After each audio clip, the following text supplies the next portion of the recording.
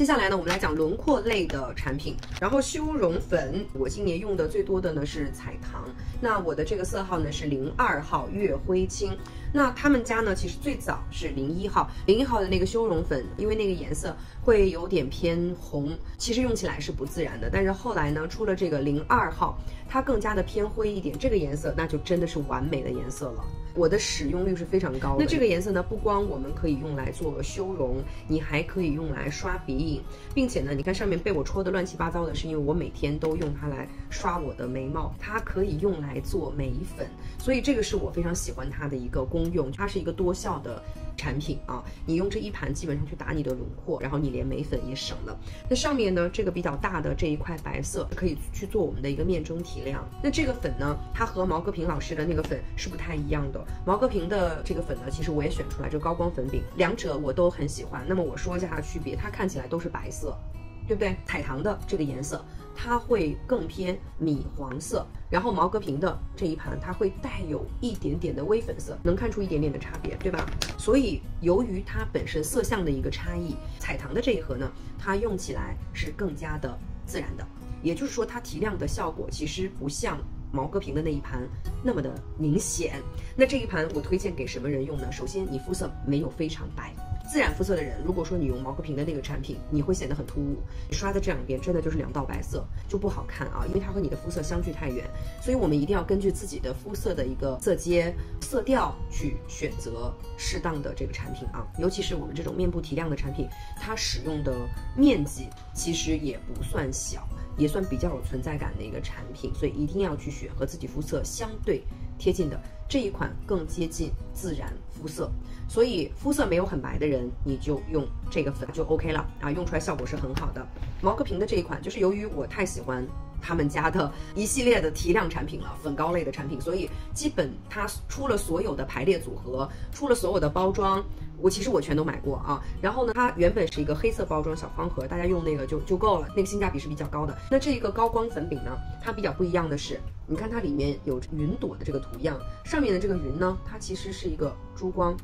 底下是哑光，你看我的手，哎呀，可能不是那么的明显啊。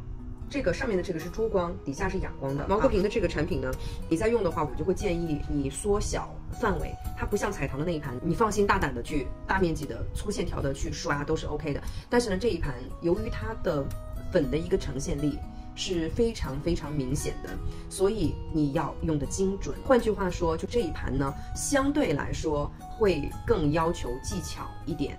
另外一个呢，就它确实是适合肤色偏白皙一点的人去用，一白、二白你用这个都可以。我觉得三白和四白其实你就不太适合用这一盘了，因为容易看起来比较突兀不自然。但是呢，它的粉不一样的是，尽管它是一个哑光的一个提亮粉饼啊，它用在手上之后，它会有一种非常非常的微妙的低调的。细致的这种丝缎光，这一点是我特别喜欢的，也是我在其他品牌的产品里确实没有见过的部分。然后轮廓的这个产品啊，我们再讲一个提亮。我近期喜欢的呢是这一盒 Hourglass，它的色号叫做 Iridescent Strobe Light。这一盘呢是一个暖香槟粉色，和我们东方人的肤色其实贴合的是更加好一点。而且呢，这个高光粉呢，它也是属于那种没有颗粒感的，就是特别的细腻，它会让你的妆感。变得很高级的那种粉，丝缎光，这个是我可能是在近一年以来对于彩妆上面的一个偏好的改变，所以大家会看到我今年选进来的面部的产品全都是那种无敌细腻的质地啊。我刚刚漏了一个遮瑕产品。单色遮瑕啊，也是毛戈平的，它叫做无瑕精准遮瑕膏，我的色号呢是八零一。那这个膏体是属于非常硬、非常干的膏体，专门用来遮痘和遮斑。如果说你要做那种单点一个一个点去遮瑕的话，你要用这个，这个它的持久力是非常好的，它就固定在你遮瑕的那个位置，它不会来回移动，持久性比较好。腮红的部分啊，那接下来我要推荐的这个腮红呢，非常可惜，它已经。停产了，这个是 Chanel 的十五号，叫做 Ochre Rose，这个颜色真的是太好看了，它是一个带一点点红茶色，又带一点点那种贵气的裸棕这样子的一个感觉。所以我自己喜欢的用法呢，我会先用这个颜色往脸的两侧的这个方向去大面积的扫，去做一个打底，然后面中再用浅色去做一个提亮和层次感。那这个颜色呢，我在线下已经试过了，我觉得和它最接近的颜色呢，就是神料的三七零。三七零呢，会比这个颜色它的红感会再少一点点，但是出来的妆感和那种气质的感觉是非常非常的相似的，所以买不到十五号就去买三七零就可以了。那这个呢是一个淡色系、裸色系的这样子的一个代表的颜色。再接下来呢，我要推荐的几个其实都是。非常平价的韩国的彩妆的品牌，一个呢是 DASIC。那大家看我视频还有直播教学的时候，应该对这个产品非常非常的熟悉了，就是他们家的一个四色的腮红。那这个四色腮红盘它出了好几个颜色，我比较喜欢这个品牌的是它按照冷暖，按照色阶这个色盘的颜色体系分得非常的清楚啊。那这个也是我们国货彩妆需要去学习的。部分，那所以呢，我也会在未来我的工作当中，因为我会跟很多品牌去合作，给他们在研发的这个部分做色彩顾问，我也一定会建议这些品牌们去运用我们的色彩哲学，中国人的色彩哲学运用在产品里面啊。好，这个颜色呢是零一号 Warm Blending，那这一盘应该好多同学都已经拥有了。你看一下，四个颜色呢全都是哑光，非常好，所以说不用担心显毛孔。我自己的习惯是，我会把底下两个产品相对来说稍微偏。裸感、奶茶感一点点的这个颜色混合在一起，先大面积的扫，然后面部中央呢，再用这两个颜色混合在一起去扫，或者说你单独用一个颜色也都是 OK 的，这个是很百搭的一盘。好，另外两个呢是 romand，那其实这两个颜色它严格来说。